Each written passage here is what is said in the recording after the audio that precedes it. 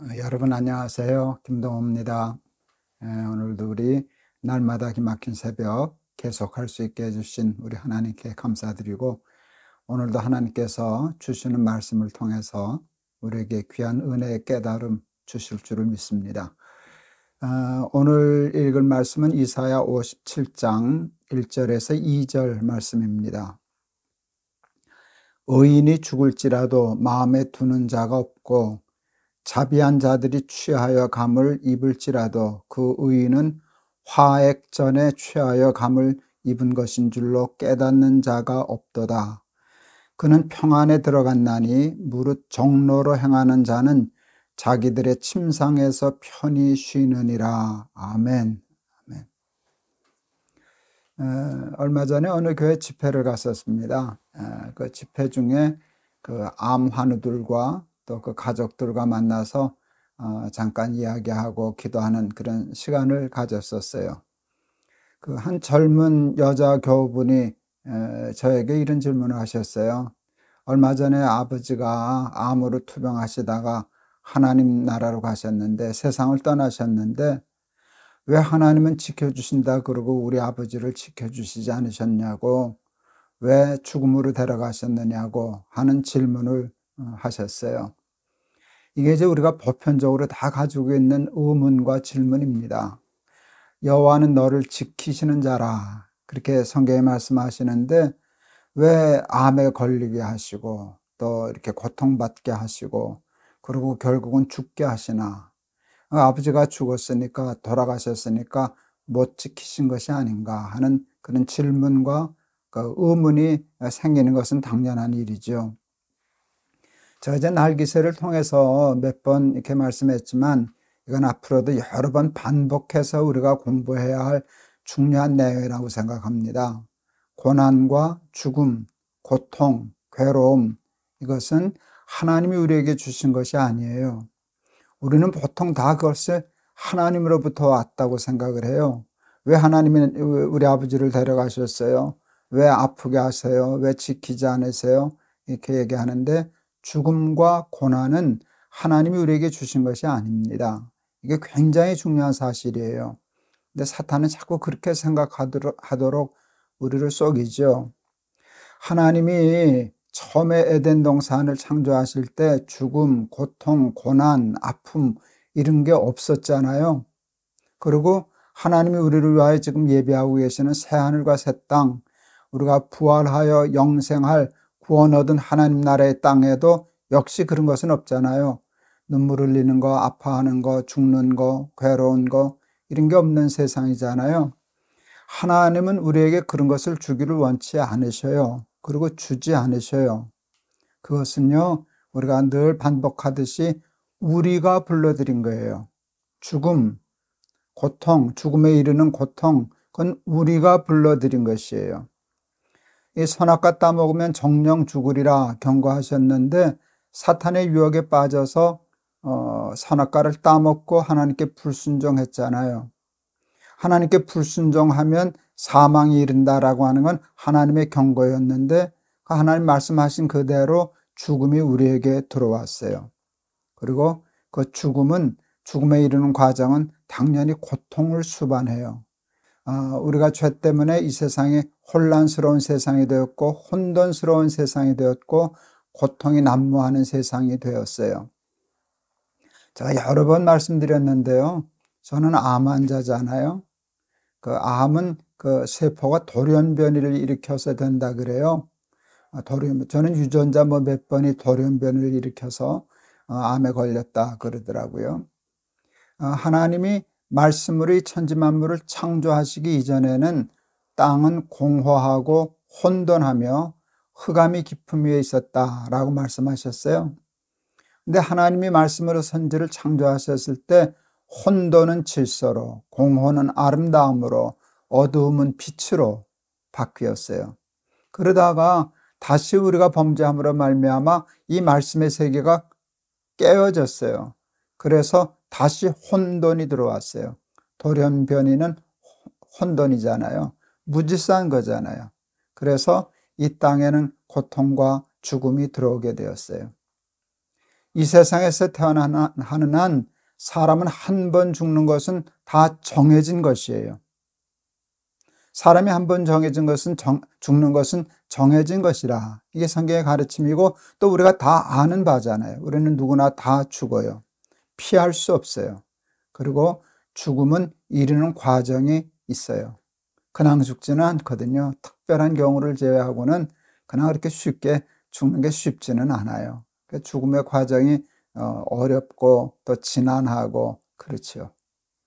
여러분 우리가 예수 믿으면 구원 얻는다 라고 할 때 여러분 구원받는다 하나님이 지키신다 라고 할 때 우리는 병에도 걸리지 않고 고통도 받지 않고 무슨 병에 걸렸다가도 다 낫고 죽지 않고 그런 걸 의미하지 않아요. 예수 믿는 사람도 죽거든요. 예수 믿는 사람도 어, 암에 걸리고요. 예수 믿는 사람도 실패도 하고요. 많은 고통도 받고요. 이 세상에서 살아가는 동안에 그것을 피할 수는 없어요. 근데 구원은 뭔가? 여러분, 어, 구원은 죽지 않는 것이 아니라 그 죽는 죽음에서 끝이 아니고 거기서 우리를 건져서 새 하늘과 새 땅으로 인도하신다는 게 궁극적인 구원이에요. 물론 이 세상 안에서의 하나님의 지키심과 구원이 전혀 없는 것은 아니에요. 그러나 어, 분명한 것은 우리도 죽고 우리도 고통받고 하는 이런 과정은 겹치는데 그것에 함몰되지 않고 하나님이 우리를 건져내시고 구원하신다는 것이에요. 그러니까 구원은 죽음 이후에 다시 사는 것을 의미하고 궁극적으로는 부활을 의미해요. 그래서 기독교는 부활의 종교죠. 부활의 종교인데 여러분 부활이 전제하고 있는 것이 있잖아요. 그것은 죽음이에요. 죽음이 없다면 부활도 없죠. 기독교가 부활의 종교라는 것은 우리가 죽음을 겪는다는 뜻이에요. 그런데 죽음이 끝이 아니고 부활하여 영생으로 돌아간다는 것이죠. 의인도 고난당할 수 있고 의인도 결국은 죽어요. 그래서 사람들은 의심해요. 어, 왜 하나님이 지키신다면서 암에 걸리고 하고 죽기까지 하셔? 왜 데려가셔? 그럴 수 있는데 오늘 거기에 대한 대답이 하나님으로부터 주어졌어요. 의인이 죽을지라도 마음에 두는 자가 없고 자비한 자들이 취하여 감을 입을지라도 그 의인은 화액 전에 취하여 감을 입은 것인 줄로 깨닫는 자가 없도다. 여기 이제 화액이라는 말이 나오더라고요. 화와 액이죠. 화와 액인데 아, 더 큰 화와 액이 있다는 것이에요. 가장 무서운 화와 액은 그 제가 지금 얘기한 죄인의 부활과 영생인데 하나님 나라에 들어가지 못한 상태에서의 영생이에요. 그게 화액이에요. 여러분 그것은 여기서 암에 걸린 거, 사업에 실패한 거, 병으로 고통당하는 거, 죽는 거 그거하고 비교할 수 있는 게 아니에요. 그 화액 전에 건져주시고 여기 그 다음에 2절 말씀이 참 중요해요. 그는 평안에 들어갔나니 무릇 정로로 행하는 자는 자기들의 침상에서 편히 쉬느니라. 하나님 나라에서 영원히 쉬느니라. 이게 하나님의 약속이에요. 어, 우리 가족을 잃은 분들도 있죠. 우리 사랑하는 선배 목사님 중에는 어, 자녀를 먼저 앞세운 분도 있어요. 어, 그 아들이 암으로 고생하다가 하나님 품에 갔어요. 근데 그 목사님이 어, 글을 쓰셨더라고요. 그 열 가지 감사. 자기 아들이 먼저 하나님 앞에 간 것에 대한 열 가지 감사인데 첫 번째 감사가 이거였어요. 그 극심한 고통으로부터 해방시켜 주셔서 감사합니다. 이게 2절의 말씀이에요. 그는 평안에 들어갔나니 그도 이 세상에서 잠시 고난당하고 고통당했어요. 만만치 않은 아픔을 겪었어요. 그런데 그와 비교할 수 없는 화액 전에 하나님이 그를 평안으로 데려가셨다는 것이에요. 어, 그는 평안에 들어갔나니 무릇 정로로 행하는 자는 자기들의 침상에서 편히 쉬리로다. 이게 하나님이 우리에게 주시는 위로의 진정한 위로의 말씀인 줄을 믿습니다. 아, 그러니까 늘 예수 믿는 사람들이 신앙인들이 이렇게 고백하잖아요. 현재 당하는 고난은 장차 받을 영광과 비교할 수 없다가 아니에요.